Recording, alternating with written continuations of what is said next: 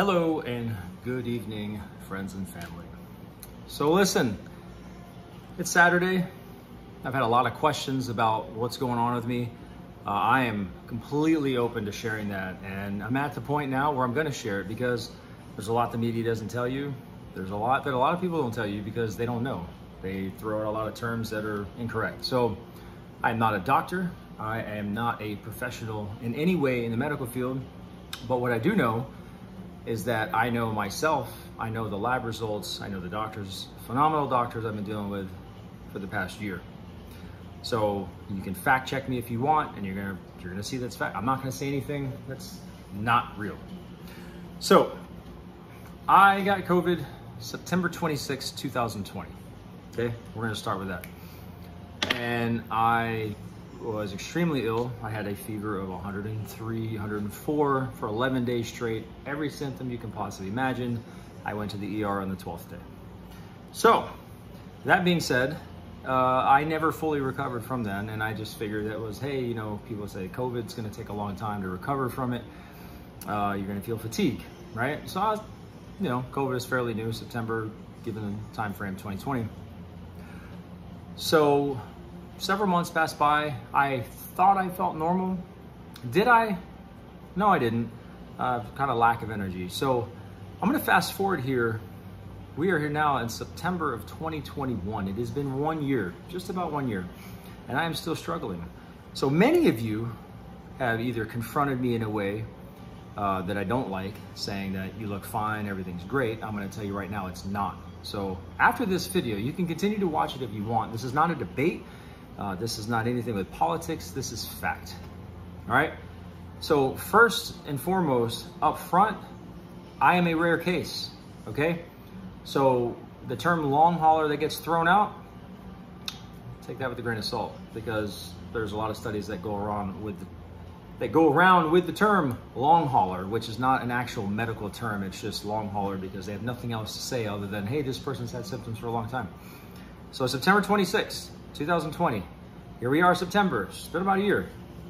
Since then, I have probably had about 10 or 11 PCR tests. A PCR test is a nose swab, the most accurate COVID test you can take. An active COVID test, which means if you test positive, you are contagious, without a doubt, right?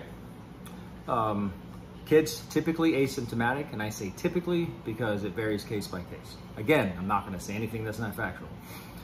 Adults usually show symptoms. Some are mild, some are extreme. Mine was the extreme. I was contagious. Some are mild, they're still contagious.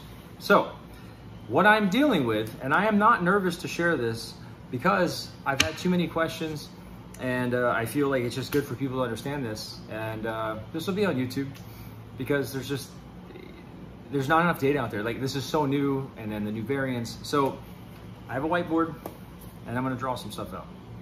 So to get a couple terms out of the way, when you get antibody testing, right? Just because you test positive for antibody does not mean that you are immune or you've built an immunity up to COVID and you can't catch it again. That's false. People have got it again and it's gotten really bad. Um, I'm going to talk about people dying from the vaccination. There's too many unknowns on that. And that goes to my specific situation here. So, when you catch COVID, your body, turn around, let's draw a little chart here. I've drawn this for a couple people so they understand. So let's just say day zero, you caught COVID, right? There's no symptoms at this point. Your body's just still trying to figure out what's going on. So the very first thing, right, we're gonna put one week, two weeks, three weeks, four weeks, let's just put six months, 12 months, okay? There are two types of antibodies when you get tested. It is called SARS CoV-2. It's a specific test for an antibody, not IgA, not IgM, not IgG for the rest of your immune system, but specific to COVID. Make sure this is center. So, all right. So the initial onset, when you catch COVID-19 and you actually got it in a contagious level, the first response your body has, it starts producing what's called an IgM antibody right? IgM, right? M is the key number, or key letter there. That's short-lived. Uh, I put this to the four weeks because 20 to 30 days, sometimes two months, it just depends. Not one year, right? And so this is the, the, the fastest, strongest initial reaction that your body can do to fight COVID. So after, again, this is going to vary, but this is in general.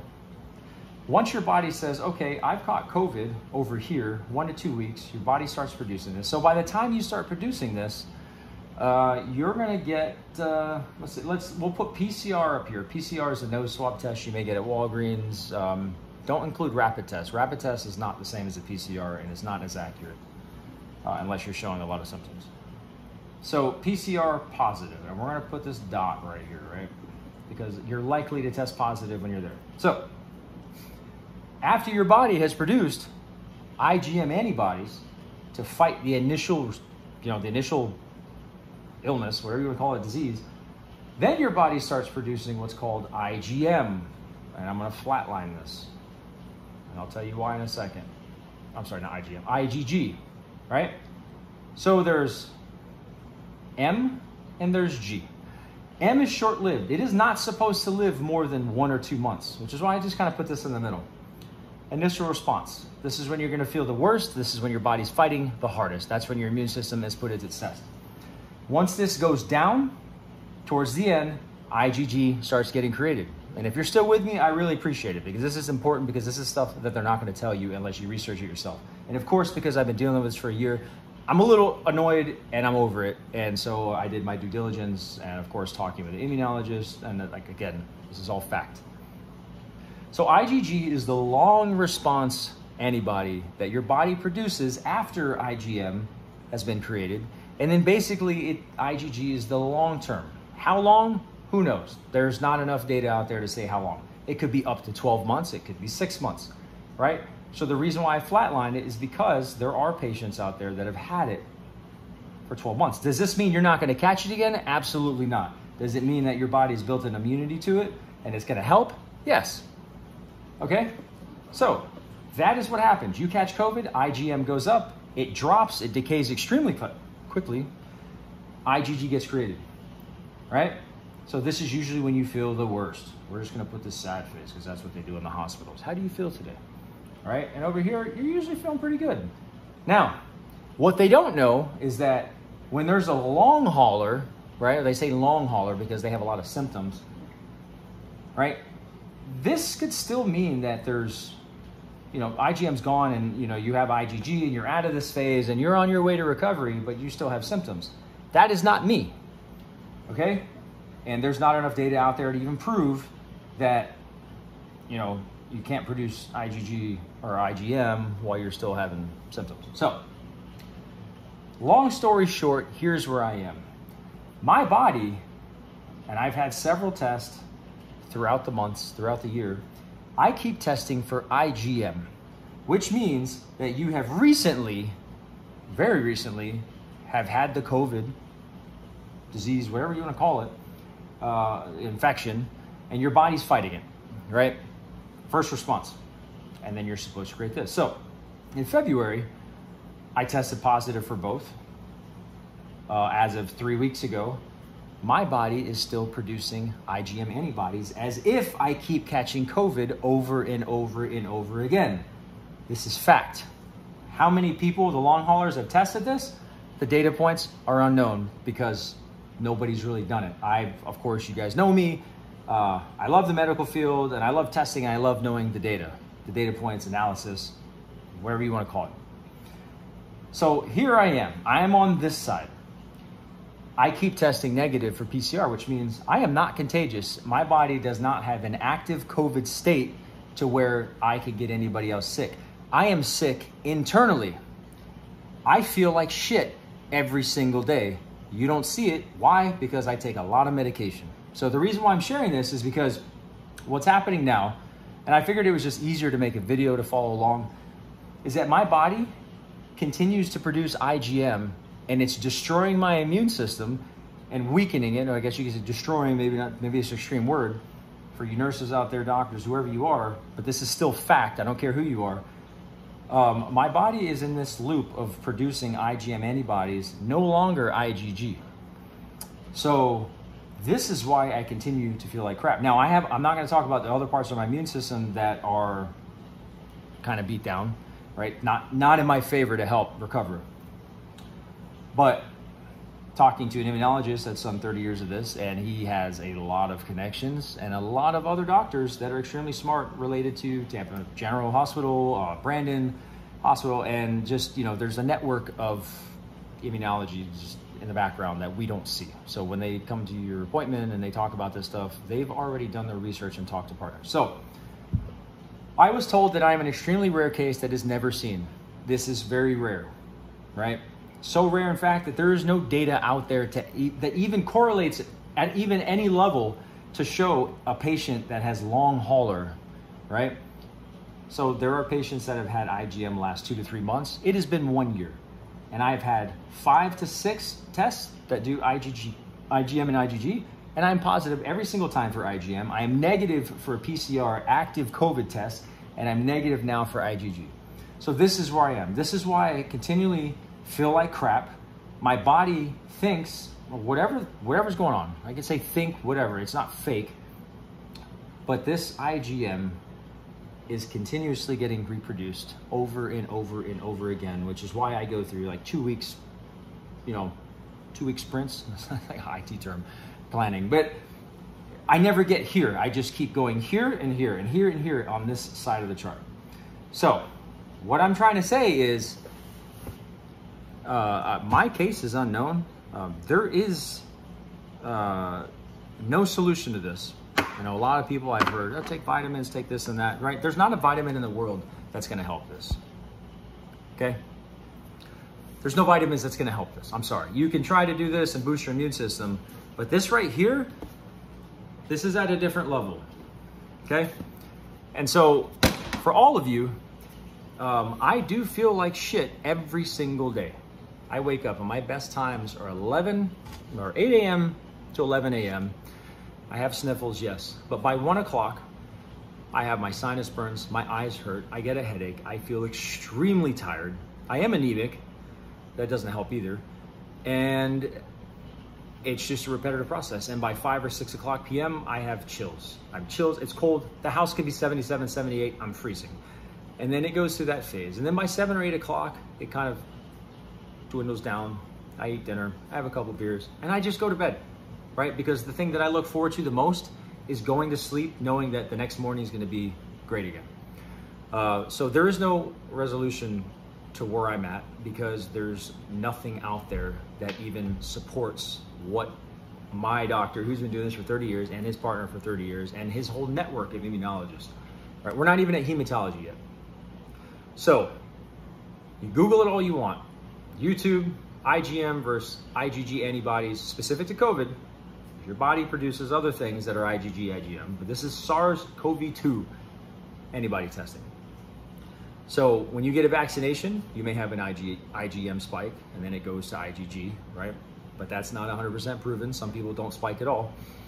Um, I'm not against a vaccination, but to cut this video down because it's 13 minutes and 37 seconds, I'm not allowed to get the vaccination because it could kill me, right? I'm not lying. So when you hear these people that say, oh, they got, got the vaccination, I don't trust it, uh, they died from it, well, the first thing I would say is, uh, did they have a full serology, immunology test, whatever you want to call it, uh, to, to get a snapshot of how their immune system is? Because at this point, my body can overreact to a vaccination and be the death of me. Fact. Um, monoclonal antibody treatments.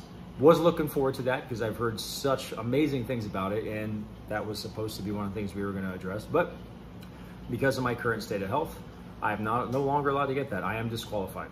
Uh, disqualified because of the fact of my current state and where I am. So they're they're locking, you know, they're, they're tightening up on the restrictions of who can get it, um, you know, based on their current health. So where am I going with this video? So now I am getting submitted to research organizations, facilities. I don't know. I, I just said, look, I, I don't care at this point. I'm desperate. It's been a year. Um, I'm still dealing with COVID at some level that nobody knows about. And so USF, John Hopkins, that's all in the works at this point. So I just wanted to give everybody an update because there's just so many unknowns and because my specific case is extremely rare. There is a great possibility that the people that are long haulers are dealing with the same thing. It's just that there's not enough data out there that even shows that they're doing the testing I'm doing. I'm pretty adamant about this because I'm sick and tired of feeling like crap and I just want my life back. Um, as you guys know, I go through different mood swings and changes. One day I may be good, next day it's like, hey, I'm super tired.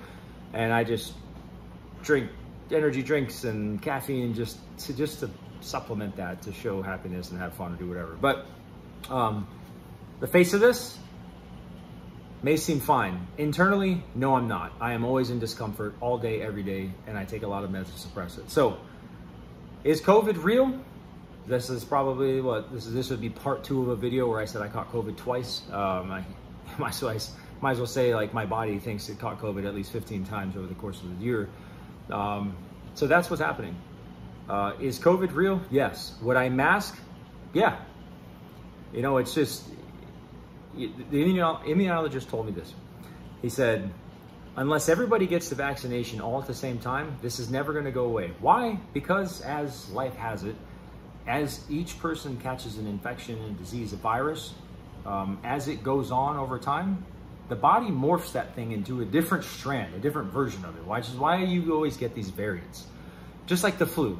I'll get a flu shot. Oh, you got the flu, but it was a different strand that wasn't covered in this vaccination. I'm not going down that route of all the information he told me. I'm just letting you guys know that, listen, uh, the COVID stuff's very real. Uh, some people have lost family members, close friends. Some people have not. Um, lately, um, my side of the family, there's just been too many.